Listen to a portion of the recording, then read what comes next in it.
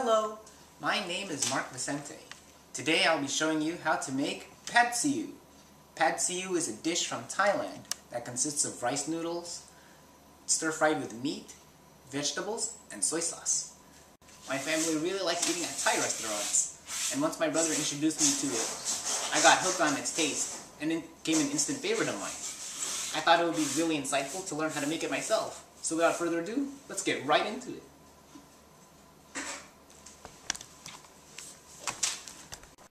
This recipe can accommodate up to 4 people. Take note that you can use any brand of these ingredients or utensils. The ingredients we will be using to make pad ew in this video include 2 eggs, 4 teaspoons of light soy sauce, 4 teaspoons of dark soy sauce,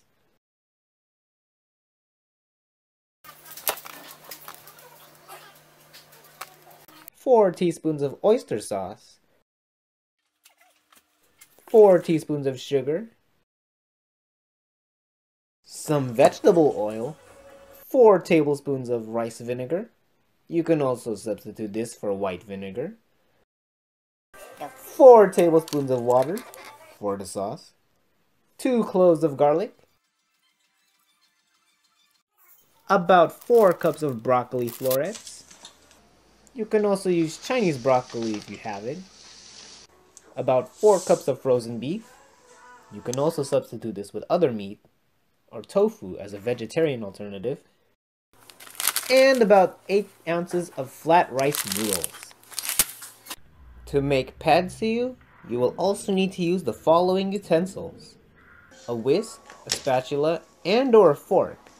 One for mixing the ingredients and the other one to beat eggs some extra bowls and cups, two chopping boards, one for the meat and one for the vegetables, one knife, and a wok for stir frying everything, and some extra pots and pans just in case. Tongs. Now that you know what materials you need, let's put it all together. Before even touching any part of the food, it's important to wash your hands first. This is so you don't contaminate the food with any of your germs. You can also wear rubber gloves too. The first real thing to do is get your ingredients ready to stir fry. Start by slicing everything, including your beef, your broccoli, and even by dicing your garlic. The next step we take is to boil the noodles. Start by boiling some water in an extra pot on a high heat and then add the noodles so that they start to loosen up and become stringy. Stir the noodles to ensure all strands are cooked. While waiting for the noodles to cook, mix your soy sauces, your sugar, your oyster sauce, and those tablespoons of water all together in a bowl with your spatula. And in a separate bowl from that, crack your two eggs and beat them with a whisk or a fork for about 2 minutes. This will come into play much later in the recipe. Once your noodles are done boiling, drain out the water with a strainer and let it cool for a while. Now, this next couple of steps are a bit tricky for me to explain because we actually pre-cooked the meat separately from the rest of the dish. We actually slow cooked it so that we can really give it that flavor. But if you want to stir fry your pad see ew in one fell swoop, be my guest. Now that that's out of the way, while the noodles are cooling down, Start by lubricating your extra pan evenly with a slight bit of vegetable oil, and then start sauteing your garlic until it becomes slightly golden at a medium-high heat. After that, you add the beef, but remember that you don't need to cook it as intensely, because we're going to cook it with the rest of the dish much later. Next, be sure you remember the following technique carefully because I will refer to it throughout the rest of the video as the scooping technique.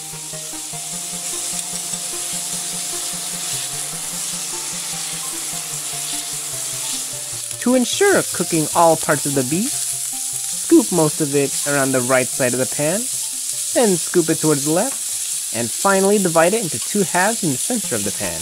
And repeat this for a while until your meat starts to feel a bit more tender. Continuing back on track with the rest of the dish now.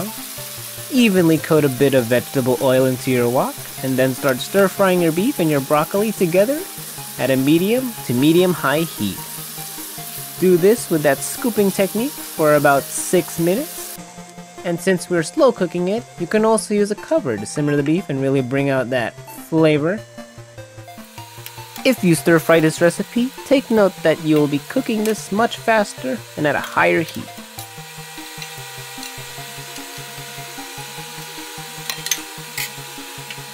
Now add your noodles into the mix, using the scooping technique to really cook all sides of the mixture, and do this while gradually adding the sauce so that it's evenly distributed throughout the recipe for about 6 minutes. If you're stir frying this, it'll obviously be much faster.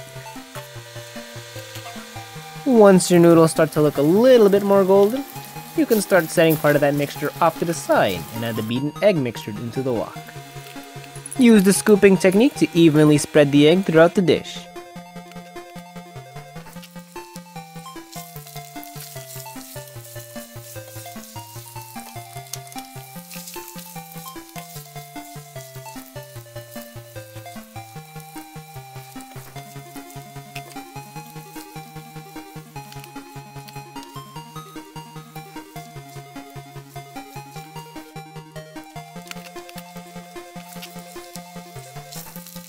Alright, all that's really left now is to transfer a bit of those noodles, or all of it if you're me, into a new plate. And you're done. Now, there's one extra step for those of you who like to make things a little hot. You can garnish a little bit of chili powder at the top of your dish to really give it an extra kick of flavor.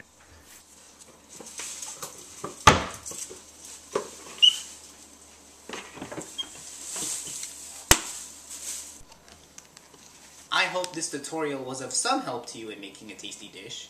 I might not cook on a day-to-day -day basis, but if you'd like to see more of my art or other content made by yours truly, you can check out my Twitter and my Instagram at MarxsterArt. There will be links in the description below. This has been Mark Vicente, and I hope to see you soon.